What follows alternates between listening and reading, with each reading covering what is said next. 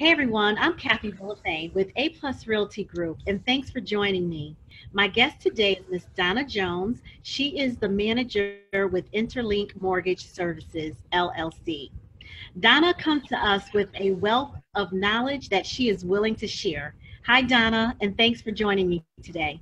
Well, hi, Kathy, and thanks for having me. Sure. Today we are going to focus on forbearance. So, Donna, what actually is forbearance? Forbearance is a temporary postponement of your house payments or any payment, but in this case, your house payment. Um, so the it's not like you're skipping payments because you will be making them up at some point. Okay. Right. Well, that's simple enough. Yep. Um, how is the mortgage industry reacting to the forbearance plan allowed by the CARES Act? Well, the mortgage industry, especially on the servicing side, the, the side that collects the payments, have um, really tried to. They, their their arms are are strapped to some degree because they're not they're not allowed to not allow somebody into forbearance. So it has affected um, some of the ways that we do our business in that we have to verify um, that you're not in forbearance if you're trying to get a mortgage. Um, it has affected our pricing to some degree, which is our interest rates. Okay. Okay. Well, would you say that a forbearance is a good option for homeowners?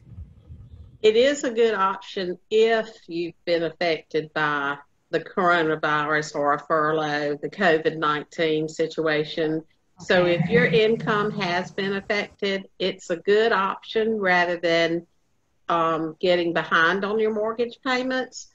Okay. But if you haven't been affected, then you should not really, in my opinion, just jump into it. Now, one thing is that if you think you might be affected by a furlough or your income being reduced, you can always um, ask for forbearance, but at the same time continue to make your house payments. That way, if if something does change and you've been severely impacted, you're able to to go with the forbearance. And but but if you don't need to you shouldn't because like i said it's just a postponement. And at some point you will have to repay those payments. Okay. So it's a good option if you really need it. Right. Okay. So now how long is the forbearance period usually? Um, a forbearance period is good for 180 days, which would be six months. And at the end of that six months, if you um, still feel like you need another six months, you can ask for that. And so in in reality, it can be up to a year. Okay. Okay. So now, how will forbearance affect a person's credit? If you were behind when you went into forbearance, then your mortgage will continue to show as delinquent um, on your credit report until you make up the amounts that you are behind. But if you are current, then it will not show the any delinquencies on your credit. Um, so it won't really affect your credit score. So if you are behind when you go into forbearance, it would probably be best to try to make up that amount that you're behind uh, even while you're in forbearance so that it won't continue to show delinquent on your credit report. Okay, great, great. So now how will forbearance affect future financing of a home? Well, when we, you and I first started talking about forbearance, it was um, going to affect you for 12 months. Mm-hmm. In other words, when you come out of forbearance, you would not have been able to finance a house for until you've made 12 consecutive payments on your mortgage. Right. Now they have most most types of loans have changed that to 3 months. Okay. So you have to make 3 months of consecutive payments after you come out of forbearance to be able to either refinance your home or purchase a, and finance another home. Okay. Now, some of that, some of those rules may vary depending on what type of loan you're going to get, but Okay. but in general, it's uh, three months now. Okay. Okay. Well, thank you for um, explaining that. And what about COVID 19? How has that affected your ability to do home financing?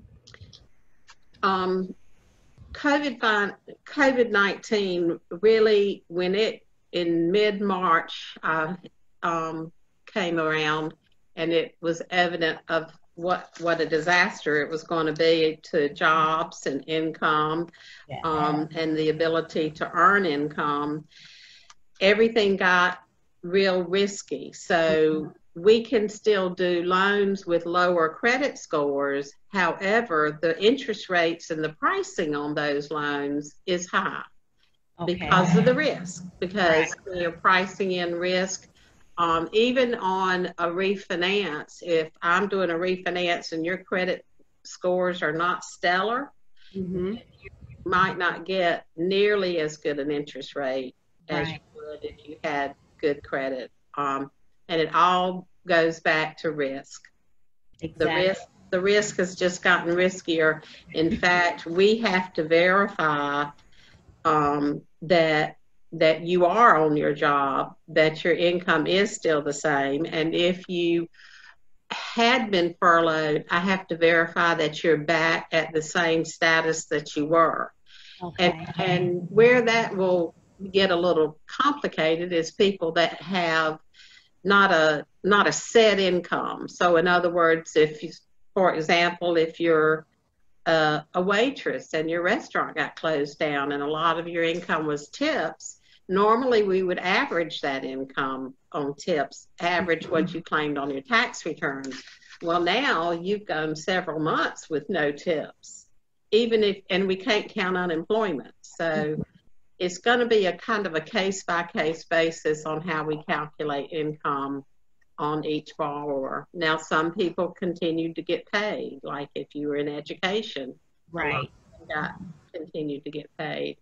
Um, however, if you were in education but you were a bus driver, it might be different because you don't have the extra bus driving because you don't have.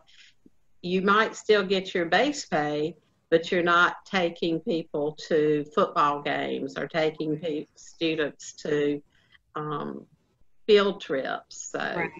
Yep. So COVID 19 has definitely affected so many people in various ways. Um, what about the interest rates? How has that been? Because I know a few months ago when everything first started, it was really crazy, but um, it seemed like it leveled out a little bit. Can you explain a little bit about the interest rates? the the on a on a Sunday, and I don't remember which Sunday it was, was when the Feds took the the Fed funds rate down to almost zero. Not quite, but almost zero. Right. Um, and so our phones rang off the hook because everyone thought our interest rates on mortgages were at zero. Right. Um, the, the Fed funds rate is the overnight rate that banks loan to banks, or that banks borrow money at. And it does affect our rates sometimes, but it's not a direct correlation to it. Okay. However, our rates have come down, um, especially if you've got stellar credit, a good income. You're going to get, if you've got credit scores in the 700s, you're going to get a very good interest rate. That's And um, some, many times we get spoiled. Um, we we want to get down into the the mid twos, and um, really the mid threes is still a good interest rate. It is, yes. That's right. It beats from uh, what was it back in 1987 when they were really high. 1980, I think they were like what they were extremely high back then. Well, back then was about when I started in the business, 1986, Yeah. and we we were busy refinancing people to seven and a half. so it's all relative, but they were happy to get seven and a half because their rate was 12 or, right. 14. yes, we have been spoiled. That's for sure. And, and interest rates will stay low for a while. So what I would suggest that If you don't have your credit where it needs to be to get the mm-hmm. best rate possible, let's work on that and get it up there so you can take advantage of the lower rates while That's they're right. low. That's right. And that's good to know that you're available not only to help people purchase a home right now, but to help them and guide them um, to get them where they need to be so they can get that better interest rate. So, all right. Well, Donna, is there anything else that you want to add today?